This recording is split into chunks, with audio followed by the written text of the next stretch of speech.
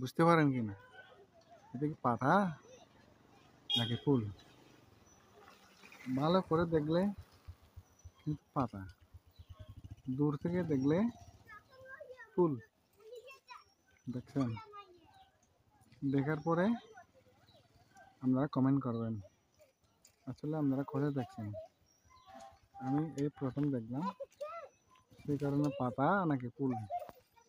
কোনোটাই বুঝতে পারতেছি না।